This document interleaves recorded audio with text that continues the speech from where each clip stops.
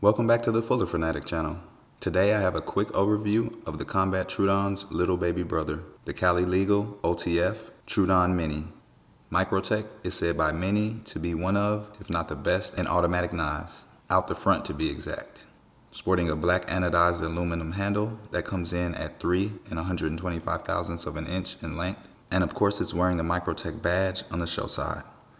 The handle thickness comes in at a half an inch, and on the butt of the knife rests a bead blast finish glass breaker. Dressed in the same finish is the right hand, left hand tip down pocket clip that's billboarded with the Microtech font, birth date, and serial number. The hardware is utilizing proprietary tri-wing screws that have also been bead blasted to match the other hardware.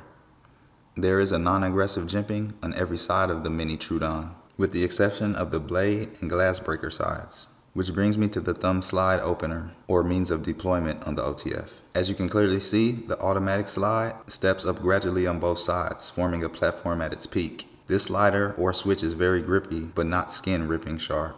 Really just right. This allows the user to fire the blade with a fingertip or from the side angle with the side of the thumb.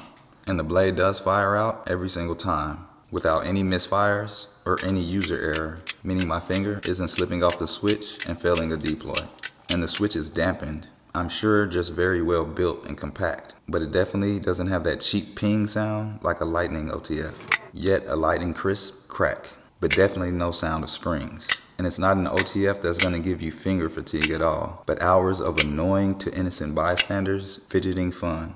The CT Mini sports a 1 and 99 hundredths of an inch stone wash finished flat ground Tanto blade and is comprised of 204P steel.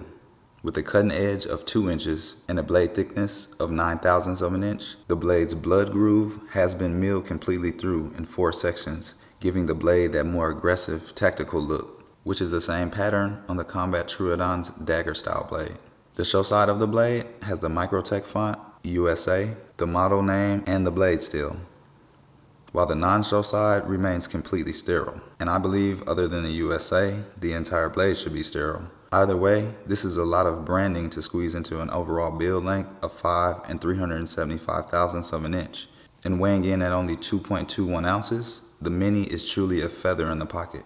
And you can definitely forget about it's on you when in that fifth pocket. What I believe this auto to be, a nice Cali Legal fifth pocket piece. That at $300 with a quote unquote glass breaker that would probably end badly with your palm in the glass with this smaller size. So this is pretty much a novelty piece. Now for that Microtech fanatic or Troodon cult follower, this will be that must-have favorite piece. But personally, me not being so fond of automatics or small knives, I couldn't find a place in my collection for this. So what are your thoughts on the Troodon Mini by Microtech? Please comment down below, share, rate, and definitely subscribe to the channel. Until next time, signing off from the Fuller Fanatic.